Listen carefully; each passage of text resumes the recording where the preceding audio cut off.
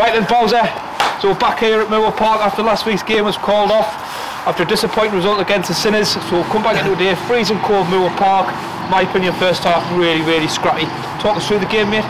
Hey, you've just hit the nail on the head. It was pretty scrappy first half, but a lot of teams um, this time the season a bit scrappy, and we had to, we had to kind of contain it and um, kind of tire them out a little bit, if I'm honest. But it was, it was def- it was a scrappy game. There was, you know, I mean, they had a couple of chances. We've had a couple of chances. Yeah. Not a great deal of quality played um, in the first half.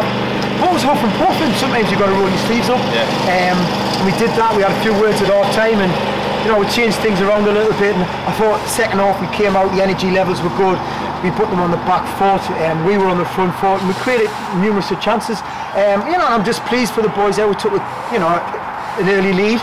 Um, which we I thought we deserved, and obviously they've, they've getting an equaliser there. And I thought it was going to be one of them games, and you know we need to put a performance on at home because it just quite hasn't um, happened for us. Um, but yeah, I mean, I thought the substitutes came on and you know changed the game, and we passed it a little bit better. But the quality was better, um, especially in the final third. And you know, it showed their second half. We've scored another two goals.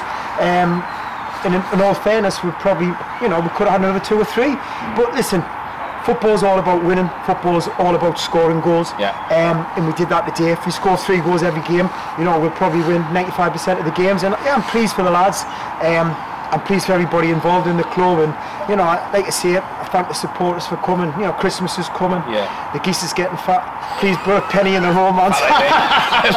no, it was, listen, really, it was, it, the most important thing about football is three points. Yeah. And it doesn't matter how you get there times. it doesn't. It, it No. doesn't. And we did that today. Look, it wasn't pretty. We dug in. We defended well. we were solid in the midfield. And we won the game. Yeah, good substitutions, changed the game. Yeah, it was. I mean, Cam Nichols came back there. He's getting a goal. Clarky comes on. You know, he's a different type of player. He's experienced. He can get a hold of it. His link-up play was good. Um, Aaron Hardy gets another goal in there.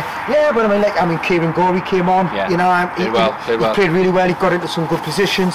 But we used the ball well, and Yeah. like I say, I mean, I thought they tied a little bit. And um, when we're on the ascendancy, scoring goals, we're a difficult play, uh, team to play against, Yeah. and it showed there. And we kept at it, we kept at it, and we wanted a fourth and a fifth.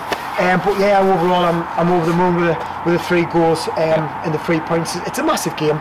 Like I said before the game, it's a it's a huge game. We needed to win the game just to keep the pressure on the you know the top five, top Yeah. six in the league, and we did that. Um, so yeah, we'll go and enjoy our Christmas party. Christmas party night, brother. Hey! Spot on. Get it.